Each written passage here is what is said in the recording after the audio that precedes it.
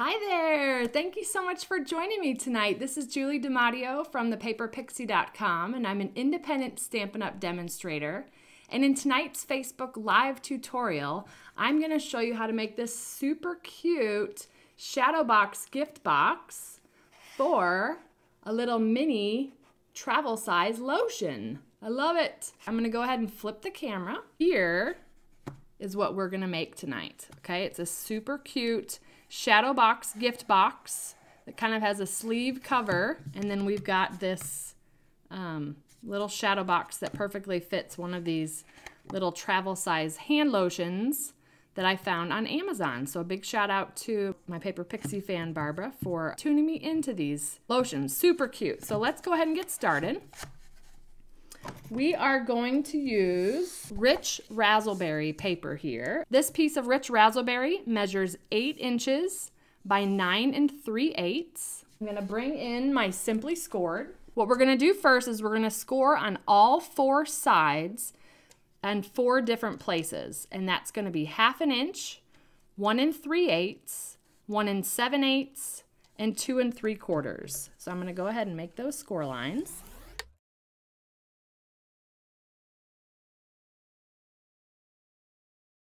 Funny looking grid here. All right. Then for these shadow boxes on the short side, so along the eight inch side, I'm going to score at the top and the bottom, only down to the second score line here. And that's going to be at three and one quarter, so down to the second score line, and four and three quarters down to the second score line. See that? Only going down to the second score line. We'll repeat that on the opposite side, so the opposite short side. Three and one quarter, four and three quarters. Then I'm gonna rotate to the long side. And we're gonna make two score lines at both the top and the bottom, but this time we're gonna score down to the fourth score line. So two and one quarter down to the fourth score line. And seven and one eighth down to the fourth score line. Rotating 180 to the opposite side, again two and one quarter, and seven and one eighth. Just show you those two. So those are only going down to the fourth score line. All right, let me bring in a template real quick. This is a not a pretty template, but you'll get the idea.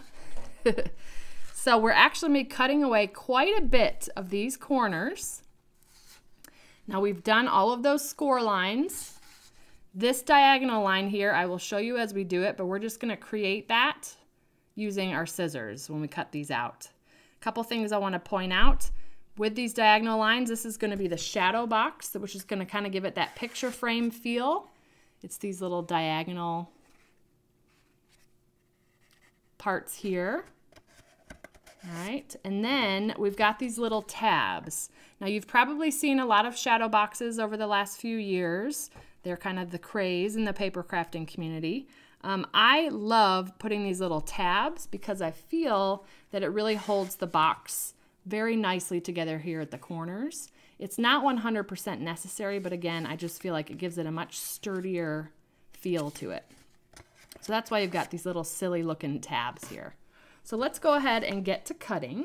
And this will probably be a little bit difficult to see. I'm gonna leave the template here kind of in the background so that you can see what we're doing. And I, you know, I've made quite a few shadow boxes, so I kind of have a method to my madness as I cut these out. Um, but whatever is easiest for you to kind of picture this template as well as make cuts.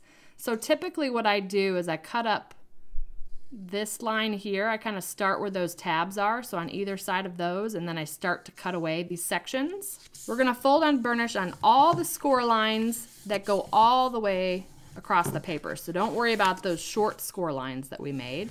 Those are really just there for cutting lines.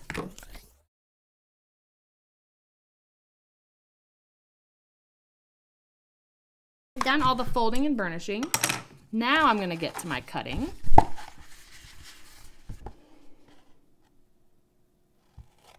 And it's a little hard to explain while I cut. I don't want to confuse you, so I'm just going to go ahead and start cutting.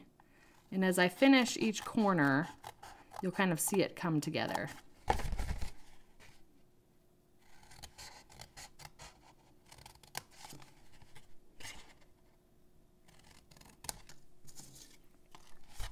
Bring that template out so you can see. All right, so we've done at least this part. We haven't gone into this part where we're going to do the diagonal. I'm gonna do that now. So I'm cutting up that short score line we made. And then what we're doing is cutting from this score line here at a diagonal to meet the next score line down. And I actually find it easier to cut that from the back side. I'm just gonna go ahead and do that and cut that away. So there's one corner and I'm just gonna work my way around.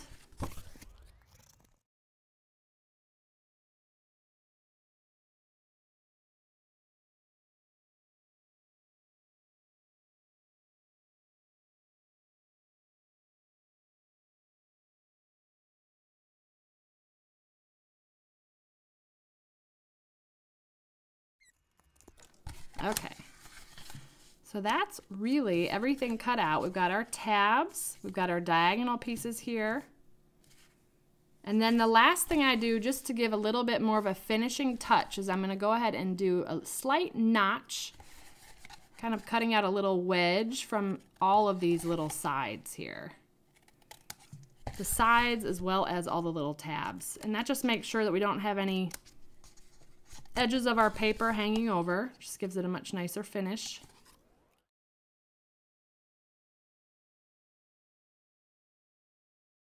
All right, so we've done all the cutting there. I typically like to use tear and tape adhesive for this, but for tonight's video, I'm just gonna use Fast Fuse. And then I'm gonna run that along all the outside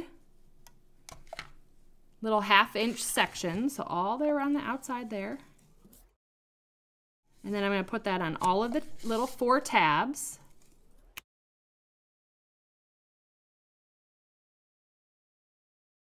And then what we want to do is to put adhesive right along this diagonal part here, and that's going to allow that to sit snug and fl um, flush right here on our shadow box. Okay, and you just need to put a little bit of adhesive right along that diagonal part. See that? You do the same thing with the tear and tape.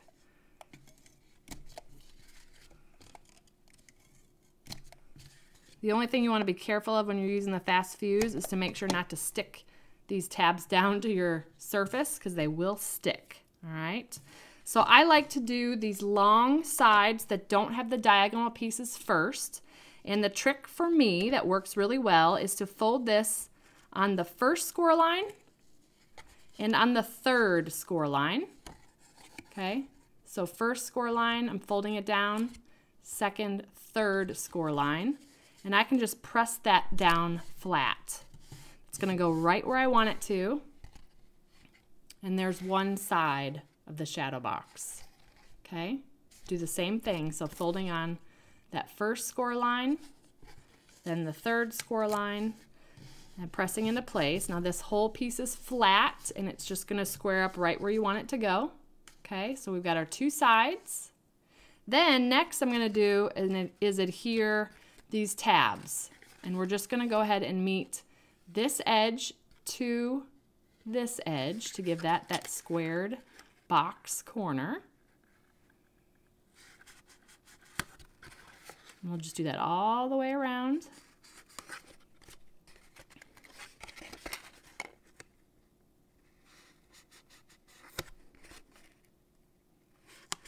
Okay, so now we've got the, most of the box put together here. Now with these, what I find is to bend it on the second score line, kind of bending it on the first and the second, but you want this edge, I'm gonna point on this side because it's easier to see, this edge to push up flush against this back wall. Hope that makes sense. I'm just kind of curling it under making sure that that side pushes to that back wall and then press down while also trying to square up these corners. See that? I just kind of pressed these diagonal parts into place because we had that fast fuse on the back side of those. And again, let's see if I can do this from an angle. So I'm kind of curving this and putting that edge this edge flat up against that black wall, pushing it as far in as it'll go before I press it down into place. And then while I press it down into place, just kind of squaring up those corners. And voila, shadow box. Very, very sturdy box. I love it. And then our little lotion should fit right into that shadow box. And it's in there. It's not gonna slide around a whole lot. It will come out easily, but it just is a perfectly snug fit, okay? So that's the inside of our beautiful gift box. Now to create the outside, I've got another piece of matching cardstock, so rich razzleberry, and this measures five and three quarters by six inches, okay? And for this one, I'm gonna bring in the Stampin' Trimmer because we're gonna do some more precise scoring measurements here, just to make sure that this will fit around our shadow box. So on the five and three quarter inch side, we are gonna score on the five and three quarter side at seven eighths. Actually, I like to do my seven eighths over here. Anything like an inch and a quarter or smaller, I like to use the left or the right side of my uh, score, my my Stampin' Trimmer. So seven eighths, and then four and seven eighths, or easy enough, you can just rotate it 180 degrees and do seven eighths again. If you want to just remember one score line. All right, so seven eighths on either side. Then I'm gonna rotate it to the long side, which is along the six inch side, and we're gonna score that at two and nine sixteenths, which is one tick mark past two and a half. And again, I'm just gonna rotate it around 180 and do two and nine sixteenths again. Alternatively, you could do three and seven sixteenths. All right, so it's gonna look like that. Let me bring in a quick template. There's their score lines. This is a pretty simple box. Now we are actually going to cut up each of these short sections stopping at the first horizontal score line, but we're going to remove these squares. So let me first fold and burnish on all the score lines. All right, so we folded and burnished on all the score lines. All right, so again, we're only gonna cut up these little short score lines. We're gonna basically cut away these two squares. And there's a reason for that. If I were to use those as tabs, what happens is the shadow box on the inside catches on them. And so um, it just makes it difficult for the recipient to slide the shadow box back in. So I'm just gonna go ahead and cut those away. So first I'm just gonna cut up those lines to that horizontal line. Okay, so now we've got these little flaps. And then I'm just gonna remove those. So I'll just fold what I wanna keep out of the way. And remove that. Do the same thing on the other side.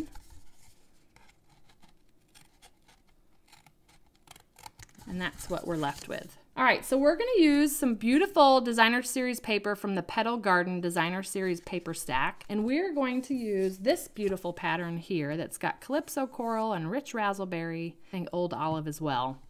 Now this piece measures two and seven sixteenths by three and seven eighths. And I'm gonna just go ahead and before we put the box together, adhere that to the top. And this should fit right inside this section here, you've got a little bit of a 16th of an inch of the rich razzleberry that's gonna peek around. All right, so there's that. Then I'm gonna grab the 3 quarter inch circle punch and we're gonna put these little finger notches in so that it's easy to slide the shadow box in and out. And what I like to do is punch those both at the same time. so without smushing this side of the box, I'm just lining up the edges along here. Okay, just so that they're lined up and I can punch those out at the same time. And then I'm just going to gently flip my punch upside down, try to center it as best I can. And I'm going just under about halfway and punch. You got to kind of put some pressure on it because we're punching through basically three layers of paper there. All right, so now what I'm gonna do is the section opposite where you put the designer series paper, we're gonna put adhesive right along these edges here. And let me grab my fast fuse again. Okay, so just right there. Then I'm gonna go ahead and grab my shadow box and kind of put it into place. And put the, adhe the adhesive side flap down first and then this one into place and you can put it as snug as you want. We've got some wiggle room here. Press that into place, flip it over, same thing. Put the adhesive side down first and then the other flap into place. And then that should fit very nicely inside there. Now let's go ahead and decorate this. We'll do a little bit of stamping now. I've got a new stamp set and punch to show you. You won't be able to order them until January 3rd, but it's the stamp set A Good Day. And I'm so excited, but they brought back scalloped circle punches. We have two of them. Let me show you. This is one and three eighths, and there's also a one and one eighth. I love it. So happy to have scallop circle punches because when I'm making multiples, punches for me are the way to go. So super cute stamp set. We're gonna use this sentiment, thank you so much. This will be like a little hostess thank you gift. And I'm gonna stamp that in Rich Razzleberry on Whisper White.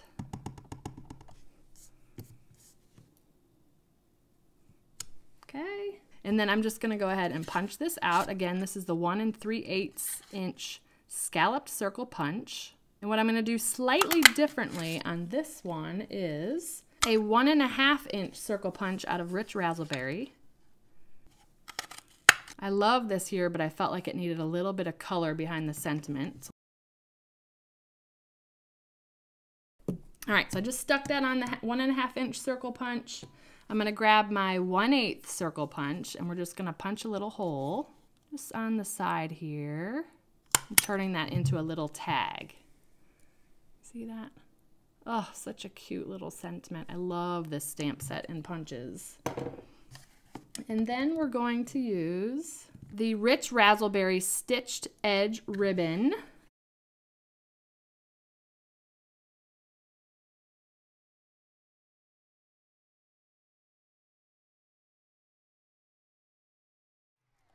Alrighty, look at that. Our little shadow box gift box for a little mini lotion. A super sweet gift that's handmade. I love it. Thank you all so much for joining me. I hope you have a wonderful and blessed day. Take care. Bye.